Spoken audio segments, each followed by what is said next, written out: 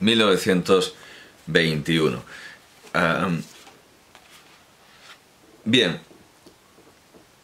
puedo dejarlo, puedo dejarlo aquí. Eh, puedo dejarlo aquí. Eh, dice Ricardo de la Cierva que Fernando de los Ríos no contesta. Sí contesta, ahora vamos a ver la, la contestación porque quiero leer completamente este pasaje citado tan fragmentariamente, pero antes, mm, antes quiero ver si en la obra de Lenin hay reflejo de, eh, hay reflejo de, eh, de este pensamiento, libertad para qué. Encontré una crítica muy parecida a la que se le hace a Panait Istrati, eso de sí, libertad para rascarse los, los piojos al sol, libertad para rascarse los piojos al sol. Y Lenin critica la libertad en la que creen los campesinos, que es una libertad para comerciar con sus productos, para tener su propiedad, pero que al final lo que crea es un mercado capitalista que a la larga o en el fondo, en, todo, en realidad en todo momento los está perjudicando. Pero no he podido, no he podido encontrar ese texto. Hay en, ahora no, no recuerdo dónde estaba.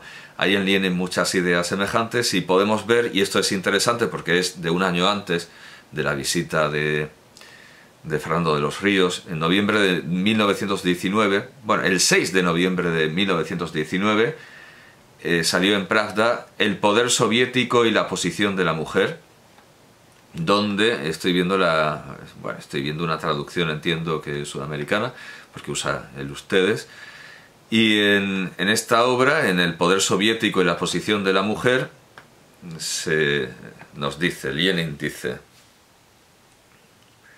que los hipócritas y los mentirosos, los necios y los ciegos, los burgueses y sus secuaces traten de engañar al pueblo con discursos sobre la libertad en general, la igualdad en general y la democracia en general.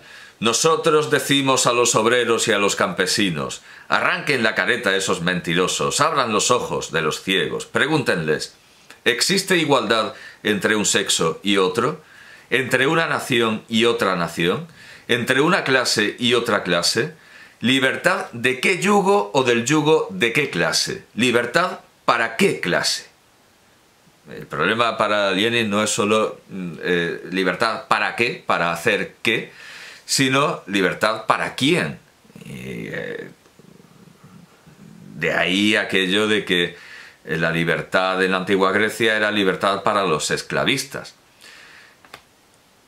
Esto de libertad para hacer qué, para qué y no para quién, se hizo famosísimo mucho más que lo de libertad para quién, que es algo que aparece más veces en el pensamiento leninista, y Georges Bernanos en el año 1953 escribió, eh, escribió un ensayo, un largo ensayo, un libro, titulado La liberté pourquoi faire, la libertad para hacer qué, y eh, tengo aquí la traducción española, eh, la traducción española que es obra de, bueno, está en ediciones Encuentro, traducción de Mercedes Gómez, y el título está sacado de Lenin y si no me equivoco está sacado de la entrevista con Fernando de los Ríos. Dice Bernanos, dice Bernanos, em, bueno, voy a no, es demasiado. Voy a... Bueno, sí, aquí está. La libertad, ¿para qué? Es un buen título, indiscutiblemente, y lo confieso con tanta más libertad porque no he sido yo quien lo ha inventado. La libertad para qué es, como sabéis, una frase famosa de Lenin y expresa con una claridad y como con una lucidez terrible esta especie de desafección cínica por la libertad que ha corrompido ya tantas conciencias. La peor amenaza para la libertad no es que uno se la deje quitar, porque quien se la ha dejado quitar puede reconquistarla siempre, es que uno haya perdido el aprecio por ella, que ya no se la comprenda.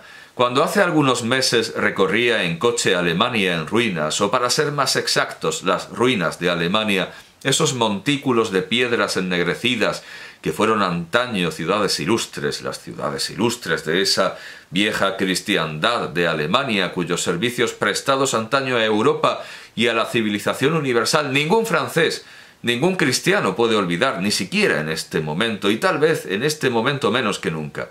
Y quien se extrañe de oírme, de oírme hablar así, estaría bien equivocado, porque no soy un hombre de odio, sino de fe. Me decía a mí mismo que de nada serviría, o de bien poco, el haber destruido tantos y al mismo tiempo y en la misma medida no se exalta en las conciencias la idea de libertad, en cuyo nombre y por la cual se había llegado a destruir tanto. Ahora bien, todos sabemos que eso es un cuento. Todo lo contrario, la frase de Lenin se ha convertido en el eslogan del Estado moderno, se llame o no se llame demócrata, porque la palabra democracia se ha usado de tal manera que ha perdido toda significación y es probablemente la palabra más prostituida en todas las lenguas. En casi todos los países, la democracia no es acaso antes que nada una dictadura económica. Eso es por sí mismo un acontecimiento inmenso que basta para aprobar la degradación profunda de la sociedad moderna. Al final está dando la razón a no en lo de libertad para qué, para hacer qué, sino libertad para quién. Libertad para los capitalistas, para los esclavistas, etc. Bien, como, como hemos visto, Ricardo de la Cierva dice que Fernando de los Ríos no contesta. ¿Qué va a decir Fernando de los Ríos? Hombre, sí contesta y vamos a, vamos a leer eh, la conversación completa. Dice Lenin, sí, sí, el problema para nosotros no es de libertad, pues respecto de esta siempre preguntamos, ¿libertad para qué?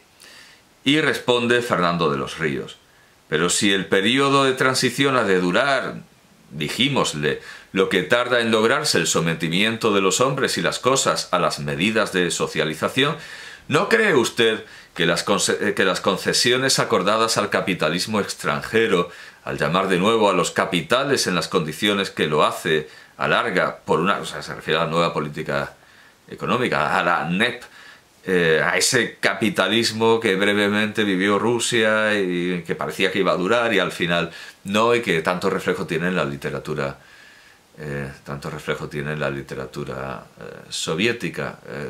creo que la cosa acabó en 1921, aunque no estoy eh, no, tengo las fechas muy...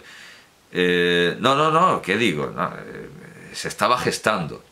Está, está hablando de algo que se está gestando, porque la nueva política económica, vamos a ver, que procede del décimo Congreso del Partido Comunista, sí, es, no es que termine, empieza, empieza en 1921. Y vaya, duró bastante, hasta el año 28.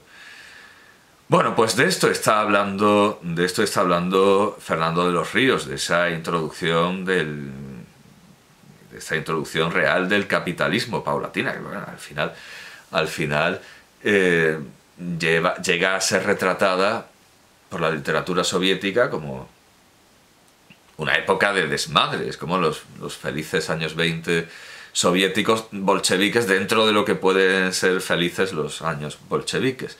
¿No cree usted que aquí mm, la respuesta eh, parece ser que Fernando de los Ríos le pide más socialismo? Le pide más socialismo a Lenin, como si fuera esa enfermedad infantil mm, eh, que es el izquierdismo. Lenin la calificó como tal. ¿No cree usted que las concesiones acordadas al capitalismo extranjero, al llamar de nuevo a los capitales en las condiciones que lo hace, alarga por un acto del poder este periodo de transición y obligará mañana a exigir de nuevo a la masa obrera que vuelva a hacer otra revolución para adueñarse de las empresas que se establezcan.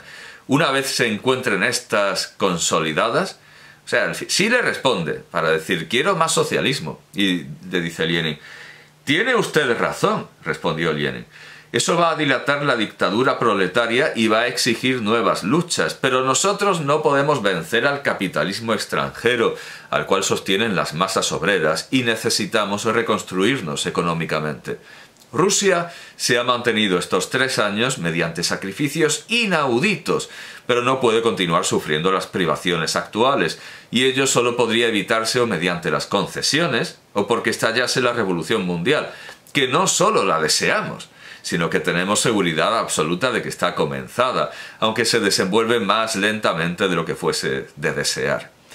Luego eh, la conversación ya toma un tono parafrástico y resumido. Hablamos de la posibilidad de que saliese de Rusia alguien que ya había recibido permiso y hasta misión especial del comisariado de enseñanza, pero a quien la policía, no obstante, negaba el pasaporte oficial, y retomando a las cuestiones objetivas, un asunto de intendencia, y mm, retornando, entiendo, no retomando, pero supongo que es una errata. Retornando a las cuestiones objetivas, Lenin nos habló de cómo gobernar es maniobrar. Hizo, o sea, al final está Fernando Ríos impresionado por el talento y el talante político de Lenin y aunque evidentemente Bernanos vea en esta frase de libertad para qué algo muy censurable, no parece que este libro sea un libro de denuncia, como, en fin, como muchos historiadores pueden plantear o, proponer. La frase denunciable está, pero la denuncia no. No olvida la frase, eh, Fernando de los Ríos seguramente habrá olvidado alguna otra, alguna otra cosa impronunciable, pero mm, no olvida la frase como eh, como Bertrand Russell, pero más o menos se mantiene en la misma línea de Bertrand Russell. Es un distante, pero no es, no es la gran condena eh, que se da en Paneiti Strati y que se daba antes en la prensa de derechas, de derechas por supuesto, pero, bueno, no, efectivamente no es la gran condena de, de Strati, ¿no? es la sucesión de hechos condenatorios. Bueno, ya habíamos visto que sí que los anarquistas sí que viajaban y, e igual, esto sí, está bien, pero no, no está bien del todo.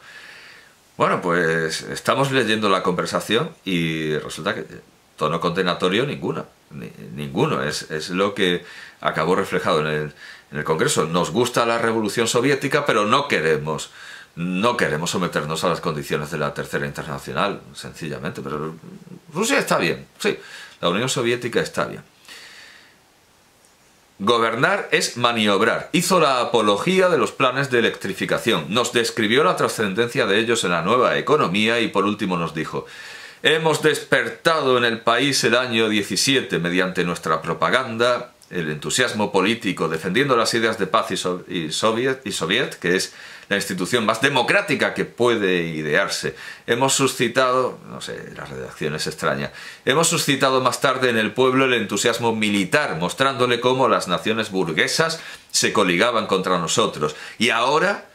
Ah, vale, sí, ya se resuelve el, periodo. Y ahora lograremos despertar el entusiasmo por la reconstrucción económica. Y hay una nota eh, eh, de la edición de... Bueno, sí, de, no, de la primera edición, 1921.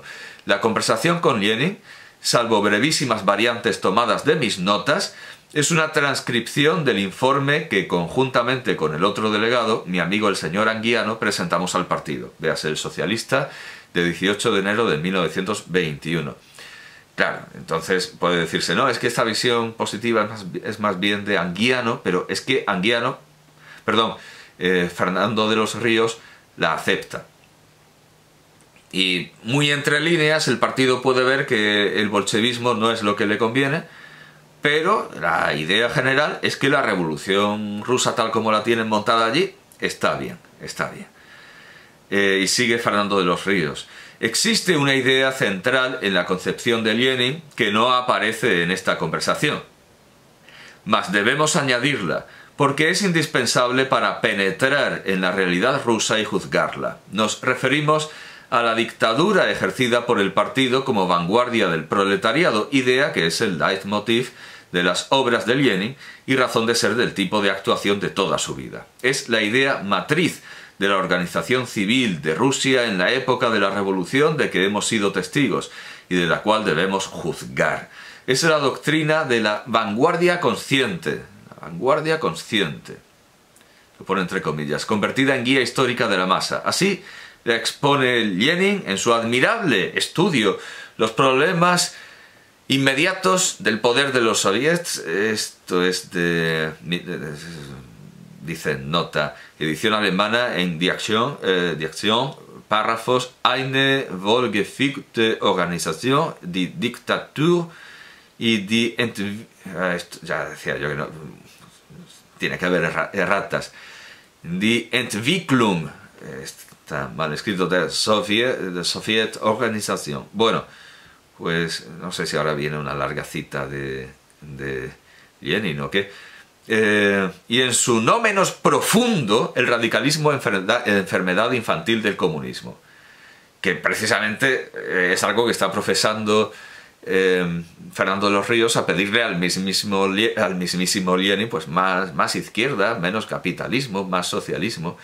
nota 7 eh, edición alemana, página 28. Dice así, la relación entre la dictadura del proletariado y el partido de los sindicatos ha adoptado hoy entre nosotros la siguiente forma concreta. La dictadura del proletariado es realizada por el Partido Comunista Bolchevique, el cual, según el informe del último congreso del partido, abril de mil, eh, más erratas, 1920, contaba con 611.000 miembros. Bueno, sí, citas bibliográficas. Es tan de esencia este principio a la ideología bolchevique, cuyo creador, como hemos dicho, es Lenin, que al proyectar la concepción comunista en la vida internacional obrera ha continuado siendo la clave del armazón.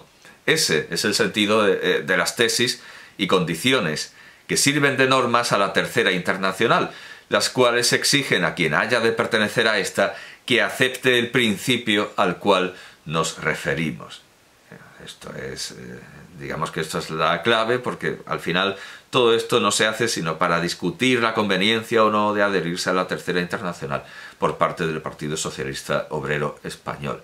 Dice, bueno, véanse las tesis, naturaleza de la dictadura del proletariado y poder de los soviets. Pero bueno, efectivamente, esto, un texto de denuncia de la Unión Soviética no lo es y en el partido se ve que efectivamente no se condena la revolución rusa, sino eh, que se condena este, esta, dictadura del proletariado, vamos, eh, esta idea central de los, de los bolcheviques, que es, eh, repitamos la formulación de Fernando de los Ríos, la dictadura ejercida por el partido como vanguardia del proletariado, dictadura del partido.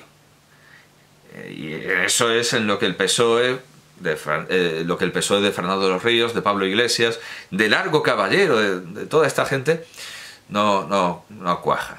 Eh, Largo Caballero, que por muy Lenin español que, que sea, permanece con Pablo Iglesias, permanece con Fernando de los Ríos y son los comunistas quienes se escinden. Y luego ya hemos visto que gente del equipo de Largo Caballero, como Luis Araquistain, pues se volvió muy, muy, muy anti, muy anti-bolchevique.